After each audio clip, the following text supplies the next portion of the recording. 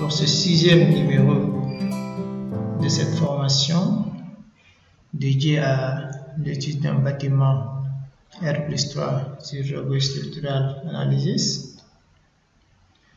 Nous allons apprendre à créer les étages supérieurs à travers euh, l'outil translation copie, puis créer les cas de charge et enfin nous allons définir les, charges. Mais tout d'abord, nous allons continuer notre modélisation en dessinant les balcons qui restent à être dessinés. Je vais venir dans numéro des nœuds pour désactiver les numéros des nœuds qui s'affichent actuellement sur notre modèle. Je les désactive ici en bas dans numéro des nœuds. Suivez mon curseur. Numéro des nœuds. Je clique et voilà, c'est parti. Je vais afficher la vue X, Y pour dessiner mes balcons. Donc les balcons seront placés à trois endroits.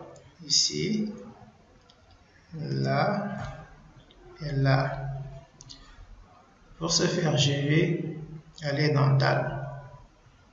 Vous voyez, dans éléments de construction, sélectionnez l'outil DAL.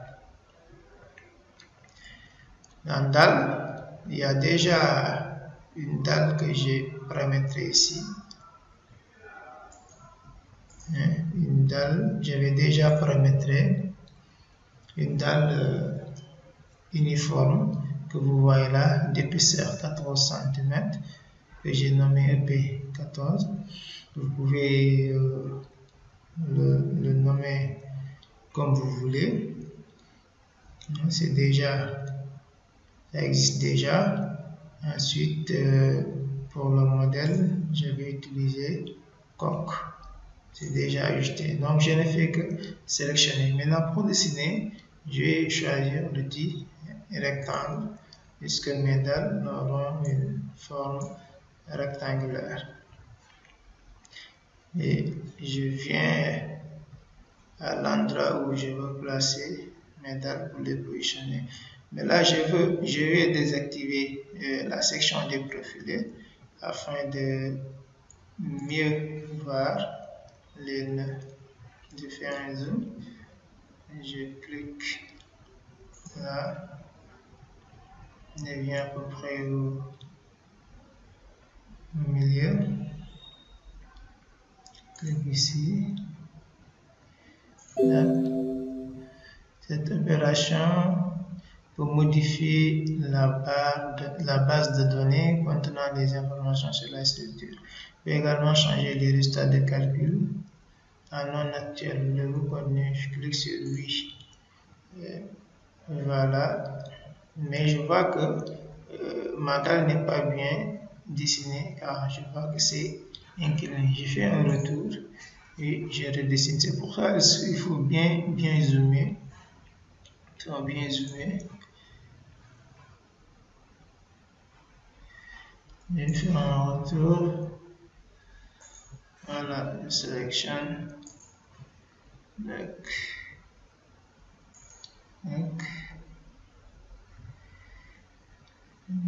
Donc, et voilà, cette fois-ci, c'est la bonne.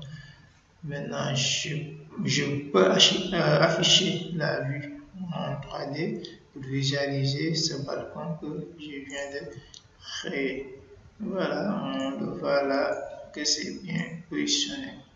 Je retourne en vue XY pour créer les autres dalles, les autres balcons également. Ici, c'est là.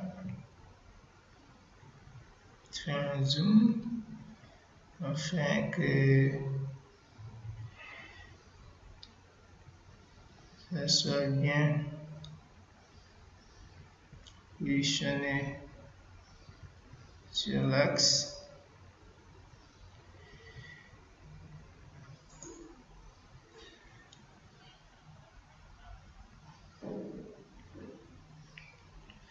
Faut bien zoomer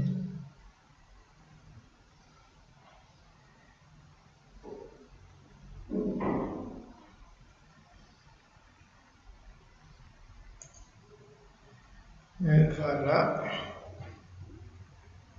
Je viens de l'autre côté également. Là. Là.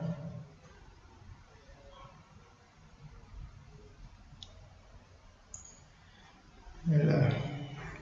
Voilà. Maintenant, j'ai terminé avec mes balcons. Je retourne en vue 3D. Vous voyez, là, j'ai dessiné l'ensemble des balcons. On peut afficher la section des profilés. Voilà, on voit que nos balcons ont été dessinés. Ainsi, nous pouvons passer euh, à la création des, étages supérieurs euh, à travers l'outil translation copie. Ok, donc pour ce faire, je vais euh, sélectionner les éléments du rez-de-chaussée dont j'ai besoin pour les copier au niveau des étages supérieurs. D'abord, pour sélectionner ces éléments, on va faire une sélection rapide. Il faut venir sélectionner var. Voilà. On va faire une sélection rapide. D'abord, je vais prendre les, les planchers, c'est-à-dire les panneaux. Puis, je viens dans géométrie. Je sélectionne d'abord l'ensemble de ces planchers. Donc, je vais faire euh, euh, une, sélection très rapide hein, à travers la géométrie. Donc, les planchers seront à 4 mètres 20. Donc, de 4 mètres, axe Z de 4 mètres 20 à 4 mètres 20. Je clique sur Ajouter. Vous voyez la, flèche avec euh, le plus de couleur euh, verte. Je vais ajouter et automatiquement, qu'est-ce que je remarque? Ça a automatiquement sélectionné l'ensemble des planchers. Alors que moi, la partie dont j'ai besoin, c'est uniquement cette partie. Je ne veux pas copier en fait les éléments qui se situent de ce côté. Pourquoi? Parce qu'ici, c'est des, des, magasins, donc euh, ils vont rester tout simplement au rez-de-chaussée, mais les étages seront de ce côté plutôt. Donc, je fais un retour pour enlever la sélection et je reprécise ma sélection pour que le logiciel euh, me sélectionne seulement ce dont j'ai besoin. Donc, je retourne de 4 mètres 20 à 4 mètres 20. Puis, suivant l'axe X, je vais prendre départ de la ligne de construction numéro 7 à la ligne de construction numéro 16. X, je prends ligne 7, puis la 16. Et maintenant, je fais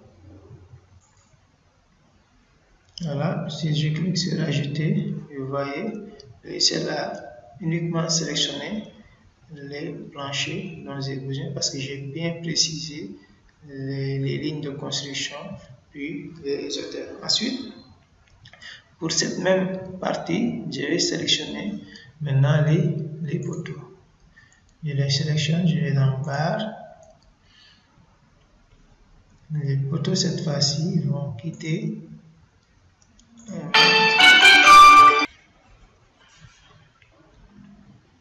les poteaux, cette fois-ci, vont quitter 1 mètre à 4 mètres.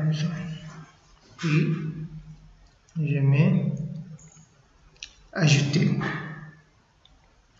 Maintenant, il y a des éléments dont je n'ai pas besoin, c'est-à-dire les long green. Je les enlève de la sélection. Maintenant, ils vont partir de 1 mètre à 1 mètre. Je clique sur le signe moins. Et voilà, ça les a désélectionnés. Maintenant, je peux cliquer sur fermer. Voyez, je vais copier ces éléments au niveau des étages supérieurs. Mais il y a ces deux poteaux qui vont euh, rentrer dans la clôture, donc je n'aurai pas besoin également de copier, donc je peux les désélectionner. Il suffit d'appuyer sur la touche CTRL du clavier, voilà, et on clique sur l'élément en question. On fait la même chose également pour ce poteau. Et voilà.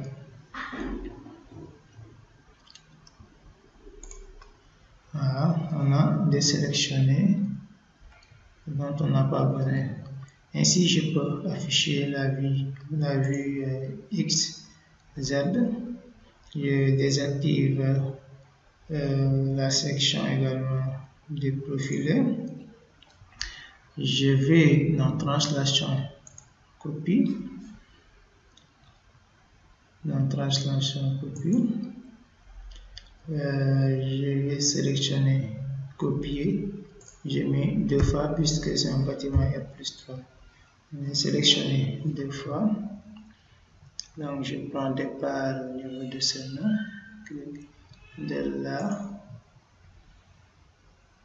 Voilà. Je vais appliquer. Fermer. Je retourne en trois dimensions et voilà vous voyez que euh, la copie a été correctement faite. Vous voyez je peux réafficher la section des, profils et bien des, des profils voilà. Et là vous voyez bien. Ok là c'est le magasin et là, voilà, c'est des niveaux.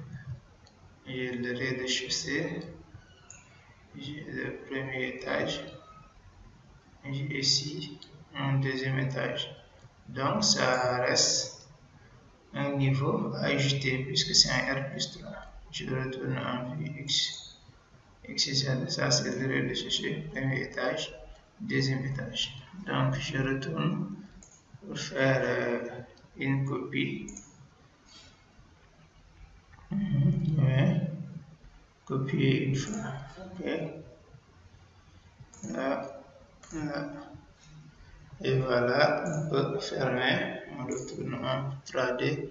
Voilà, maintenant, j'ai l'ensemble de mes niveaux. À présent, on peut euh, lancer un calcul pour voir si ce qu'on a effectué des erreurs. Je vais dans euh, analyse, hein, je vais calculer pour corriger euh, des erreurs éventuelles avant de passer à, l'étape suivante. Voilà, donc euh, le logiciel n'a pas signalé, signalé d'erreur. Donc ça veut dire que la modélisation est jusque-là correcte. Maintenant, on va aller dans, on va aller euh, dans chargement pour créer nos cas de charge. Chargement. Voilà. Cas de charge. Donc, dans cas de charge, numéro G maintenant mettre par le préfixe permanent et là vous voyez poids propre. C'est-à-dire quand on sélectionne poids propre c'est pour que le logiciel intègre dans ses calculs le poids propre des éléments qu'on a modélisés. Donc on n'aura pas besoin de les calculer pour les pour les pour les voilà pour les placer. Donc le logiciel va prendre directement en compte non. Voilà, dans nature, il faut laisser permanente. Hmm. Non, je vais mettre euh, poids propre. Poids, propre. Hmm, voilà, ajouter. Voilà, c'est là, poids propre.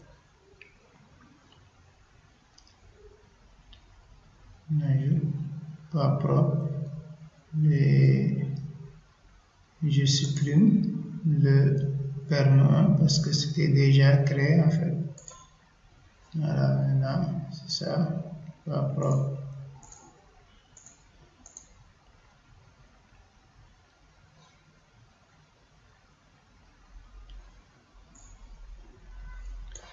puis je vais créer également cette fois-ci, il faut cliquer dans le vide dans son nature. Voilà, charge. Voilà, ça c'est les charges permanentes. Je descends.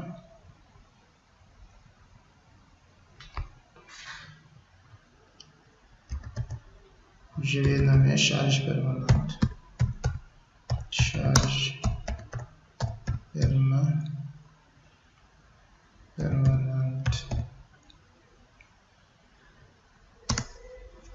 page permanente G voilà.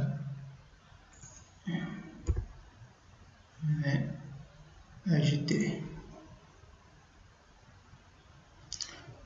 Ensuite charge d'exploitation. Le fichier mettre exploitation. Cette fois-ci, je change mes charges d'exploitation. D'exploitation qui nommé ajouter. Et voilà, je peux mettre fermer. À présent, nous avons créé nos cas de charge. Donc ça, c'est le, le poids propre. Là, c'est la charge permanente G et la charge d'exploitation Q. de la même façon qu'on a créé ces cas de charge, si on avait des charges de neige ou de vent éventuelles, on pouvait aussi les créer. Hein en sélectionnant par exemple vent ou neige, etc. Mais dans le cadre de notre étude, on a tout simplement besoin de ces deux cas de charge. À présent, on peut passer à la définition des charges. Donc, euh, on avait déjà défini nos cas de charge on va passer maintenant à la définition des charges, qui sont des charges permanentes et des charges d'exploitation. Et pour ce faire, nous allons commencer au niveau du, plancher terrasse. Et ce plancher qui va recevoir les conseils de couches, la forme de pente et les gravillons de, de protection. Hein, plus euh, plus euh, le poids propre du plancher ordi en question. Donc, euh, on suppose que on aura pour ce plancher terrasse euh, un poids propre de G qui sera égal à par exemple 2,5 kN en faisant la somme de toutes ces charges que je viens de citer. Et pour la charge d'exploitation, on va mettre tout simplement 1,5 kN par mètre carré. Donc, je vais sélectionner le plancher. Je vais le sélectionner. Voilà.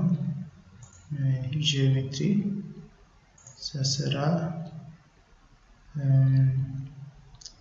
euh, ça sera à 13 mètres 80 de 13 mètres 80 à 13 mètres 80 je sélectionne voilà en bleu le plancher que j'ai bel et bien sélectionné.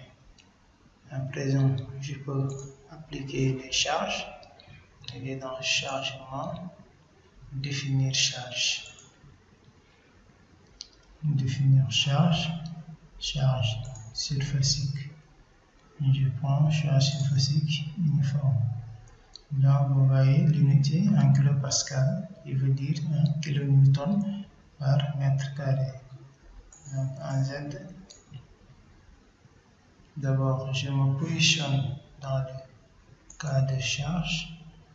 G. Voilà.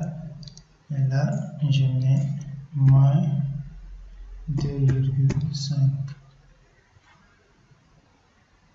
je clique sur ajouter voilà. Appliquer à c'est déjà sélectionné mais appliquer vous voyez que la valeur c'est bien définie donc je vais dans la description de valeur de décoche pour laisser tout simplement le symbole de, de charge donc euh, de la même façon je vais également me positionner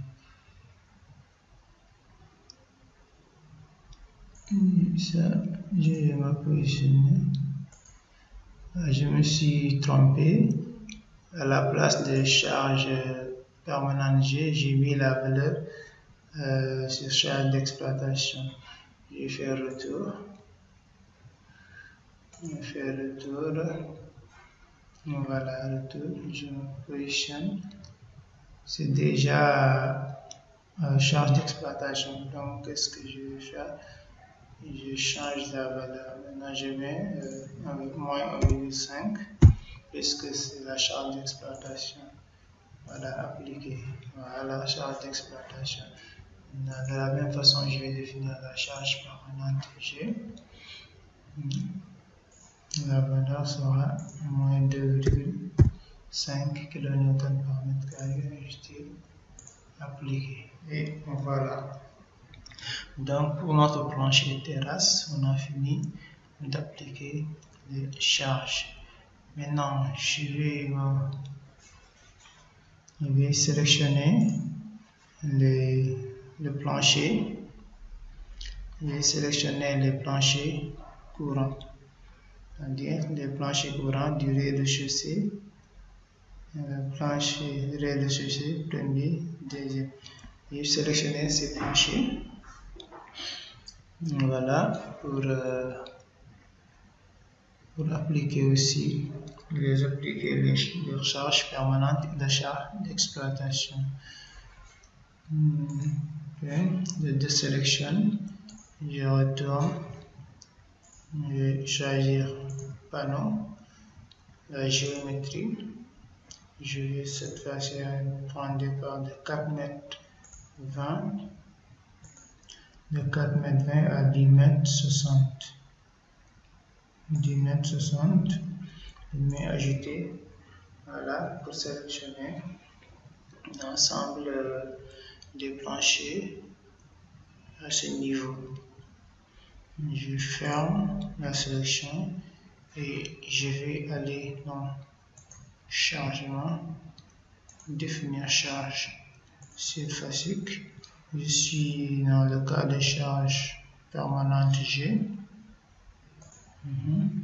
Donc pour, pour les planchers courants, la valeur de G va changer.